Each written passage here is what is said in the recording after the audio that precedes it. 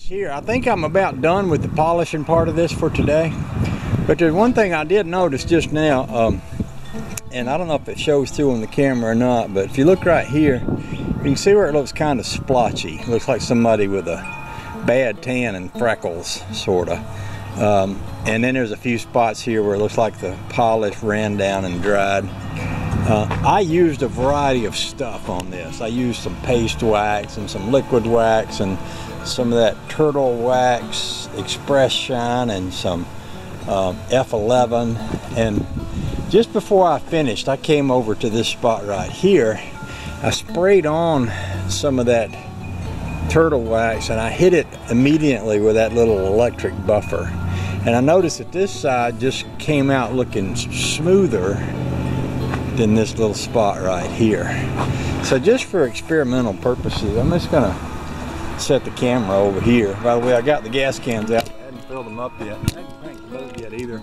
I was thinking we might try to go to the lake tomorrow, but it's windy today. It's supposed to be even windier tomorrow. So anyway, that's another subject. But I'm gonna try hitting that with some of that pearl wax and to see if it takes away that little splotchy look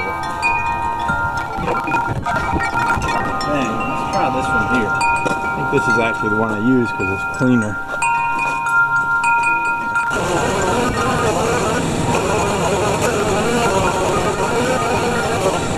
I don't know if that's a good idea or not. I kind of think it was. Uh, turn this air compressor off. I don't think I need that anymore today.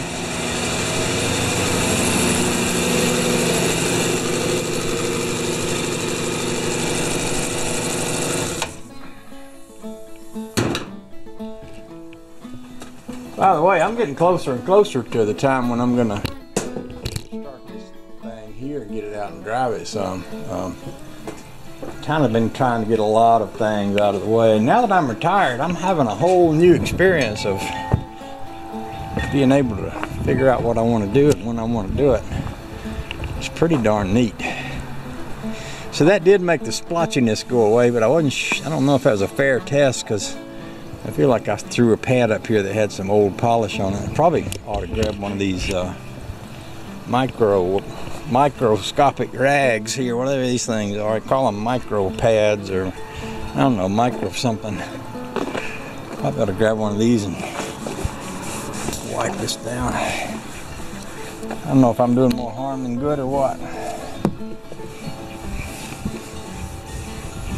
I think I'm gonna put my camera away before I do any more damage today. uh, anyway, after a bit, I'm gonna go get some, well, either today or early tomorrow or sometime soon. I'm going to get me some gas and crank this here in the yard. Make sure she's running okay and then we'll kind of go from there I reckon. Let's go in the house and see what today looks like in here.